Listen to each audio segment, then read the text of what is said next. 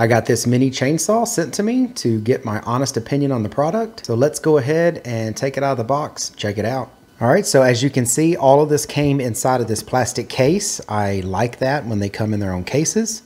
It came with a set of gloves, the manual, two batteries, an extra chain, which is high quality, it says it right there.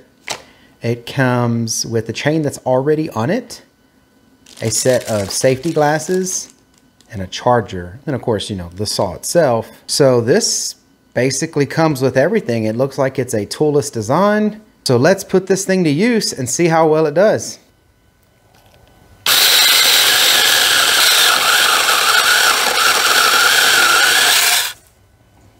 There's one good cut.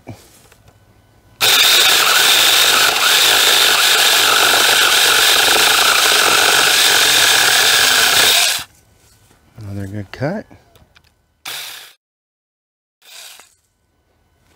Cut's pretty good.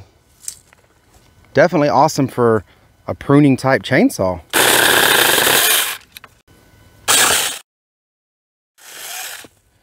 You basically just lay the chainsaw on the wood and let the weight of the chainsaw on your arm do the work. You don't have to push down or anything. It just pulls the tree to it and starts to cutting. It's a pretty good sized chunk of tree that it just cut through. These are going to be great size logs for the fire pit. I think this thing cuts great. So yeah, for smaller trees like this that have fallen or trees that need to be pruned up, branches, smaller trees, I totally will grab this. All right, so I got it all back in the case. So what do I think? Well, it's got a good build quality.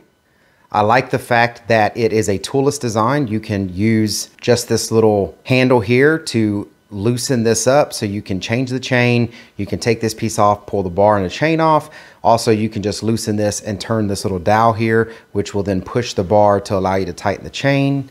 It comes with an extra chain, two batteries. I mean, it, it comes with everything you want.